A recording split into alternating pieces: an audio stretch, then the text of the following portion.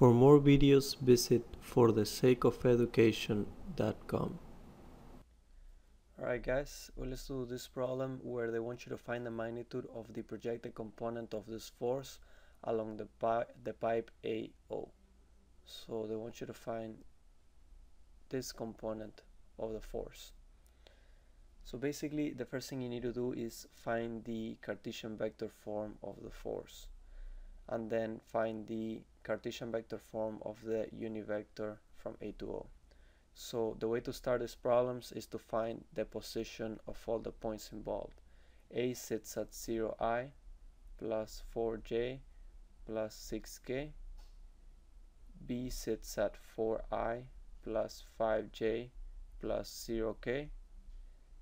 And O sits at the origin, which is 0, 0, 0. Now that you have all the points involved, let's start finding some vectors. So the vector that goes from A to B is equal to vector B minus vector A and it's equal to 4i plus 1j minus 6k. The magnitude of this vector can be found by doing the x component square plus the y component square plus the z component square and it comes out to be 7.28. Now what you need to do is find the unit vector AB which is this tiny vector right here with a magnitude of 1 and you do so by dividing vector AB by its own magnitude.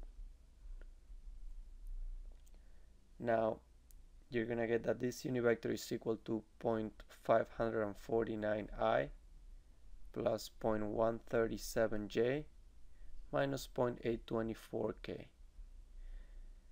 If you wanted to find the Cartesian vector form of the force, which is what we need to do, you know that its magnitude is 400, so the Cartesian vector form is given by multiplying its magnitude by the unit vector going along the force, which is unit vector A, B, which is equal to 400 times these three values and it comes out to be 220i plus 55j minus 330k. Now we need to find the unit vector going along AO which is this tiny vector right here. To do that we need to find first vector AO which is vector O minus vector A but since O is the origin, it's the same as the opposite of vector A, which is 0i minus 4j minus 6k.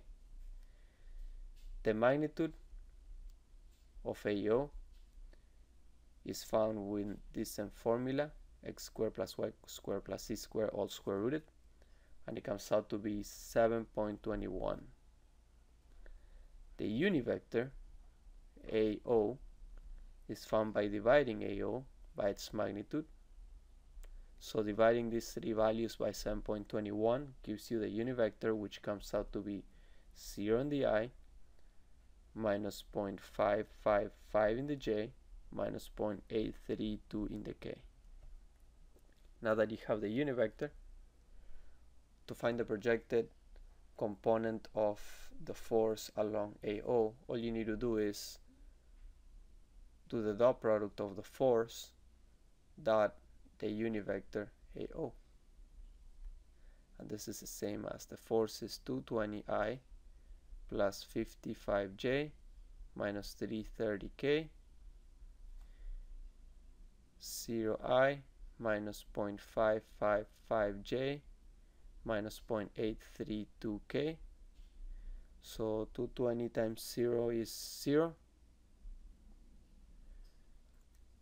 55 times 0.555 is negative 30.5 and negative 330 times negative 0.832 is positive 274.5 so this comes out to be 244 244 is the magnitude. That's what they want. They want the magnitude of the vector going along AO, which is a component of the force F. final answer. Please comment below if you want me to do any problems and I'll be happy to help. Thank you.